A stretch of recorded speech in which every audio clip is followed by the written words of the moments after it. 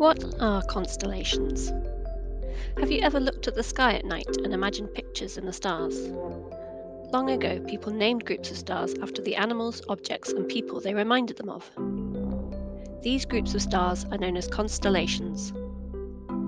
You may have heard of some of them, like the Great Bear or Orion the Hunter.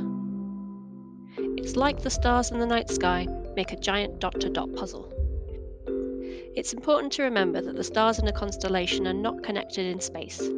Some of the stars may be much further away than others. They just look that shape in the sky from our view on Earth. The brightest star in the night sky is called Sirius. In the UK and Ireland, Sirius is also called the Dog Star.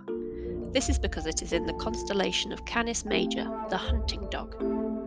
However, in North Korea, South Korea, and China, it is known as the Wolf Star.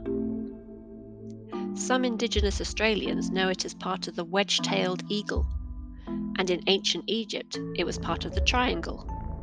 So, even though the stars don't change, different cultures around the world connected the dots in different ways.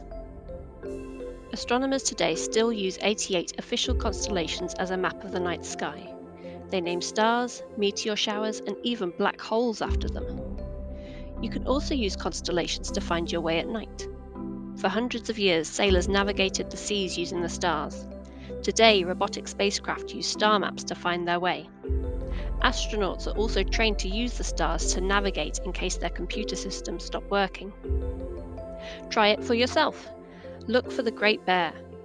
Find the four bright stars that make the bear's body. Imagine a straight line passing up through the two stars furthest from its tail. Continue this line until you find a bright star. This is Polaris, the North Star. This star is always to the north. Next time you look up at the night sky, look for the constellations and see what pictures you can make in the stars.